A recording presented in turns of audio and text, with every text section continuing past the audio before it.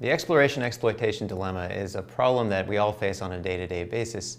Uh, for some reason, people like to use restaurants as an example to motivate the problem. Um, do you choose to go to the same restaurant that you've gone to many times before and that's worked for you in the past? Or do you try out something new that has a potentially a bigger upside, but there's also some uncertainty to it? And there's been a lot of work in the computer science literature and machine learning about how to solve that problem in order to maximize the rewards that an agent might achieve. Uh, but it turns out that that problem is very difficult to solve in all but the most simplest circumstances.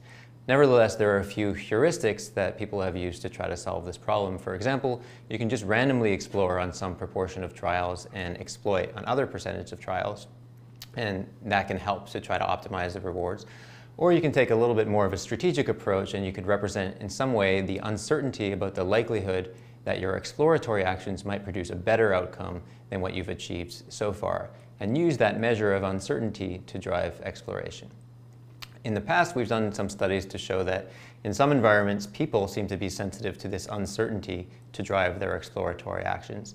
But it turns out that some people are more sensitive than others, and in fact, there's actually a genetic correlate that's related to uh, prefrontal cortical function, where people who have one form of a gene that associated with higher levels of catecholamines in prefrontal cortex are more likely to use uncertainty to guide exploration. And that ability, the ability to take a fairly abstract um, representation or contextual representation like a goal, a plan, or in this case, relative uncertainty, and use it to choose one response over another that might be more prepotent, um, is something that's long been associated with the prefrontal cortex.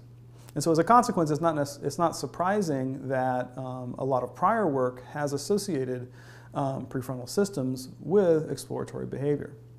A lot of work has now suggested that as one goes from motor cortex in the most uh, caudal portion of frontal cortex um, rostrally towards the frontal pole, that um, control over action and the type of representations and processes involved become um, progressively abstract. And one way that they become more abstract is in terms of um, sort of nested operations. The idea that at the most rostral portions of frontal cortex, and specifically the rostrolateral prefrontal cortex, those neurons support operations computed over other operations. So relative uncertainty is a good example of that type of, of processing demand. To test this idea, of course, we don't want to uh, ask people to make decisions about what restaurants to go to and so forth, but we want to uh, be able to quantify exactly how much uncertainty people have about their decisions and about the potential reward uh, statistics associated with their choices.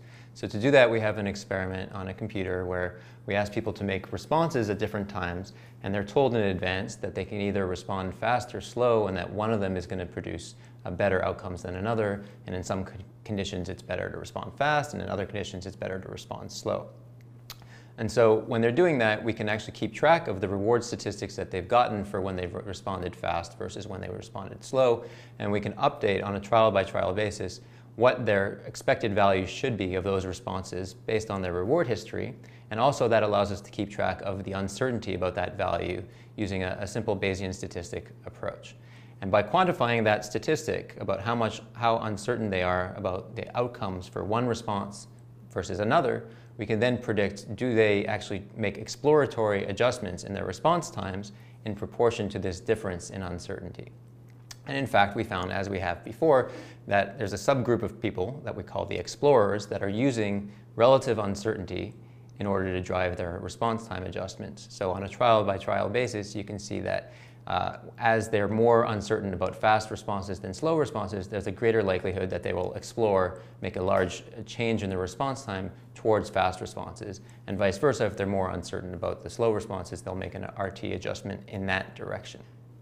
Uh, there's another group of participants that also seem to adjust their responses on a trial by trial basis, but they just don't seem to do this in a proportion to uncertainty. So this is what we'll call the the non-explorers, or at least they're not using uncertainty to drive exploration. If people are using relative uncertainty in order to guide their exploratory choices, then um, you, one should predict that the brain should be tracking changes in relative uncertainty from trial to trial as people are making their decisions. And from the computational model, we have estimates on every trial of this relative uncertainty value. What we can do is convolve that with a hemodynamic response and, that, and set up a uh, explanatory time series that we then can look for um, in our fMRI data. So taking this approach, what we find, consistent with our hypothesis, is that the rostrolateral prefrontal cortex is the region that tracks relative uncertainty in this continuous way. Moreover, it does so only in those individuals that um, use relative uncertainty for their exploratory choices.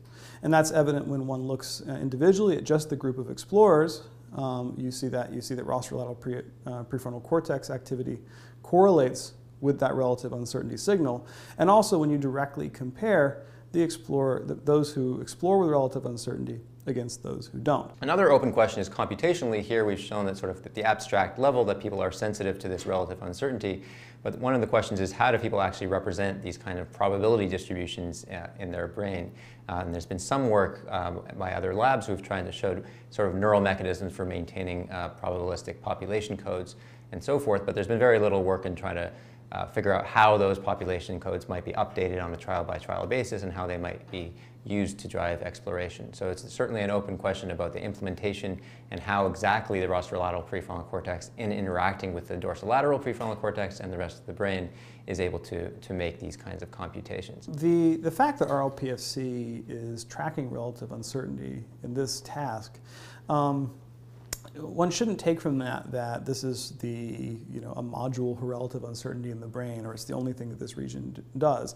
And in fact, quite the opposite. What it points at is that this is a very general and, and sort of all, all purpose function of this part of the brain, um, namely the ability to make these relative value comparisons. And it's something that can be applied across a wide range of tasks. And it's consistent with a, a prior literature that has that has shown that, um, ranging from things like analogy to episodic memory and other types of contexts. So in terms of the functional organization of frontal cortex, um, this is consistent with a view that says that um, its function is fairly abstract and, and, and general and can be applied to different problems. Um, uh, but, but in terms of their specifics, but is, is really using a much more abstract type of computation.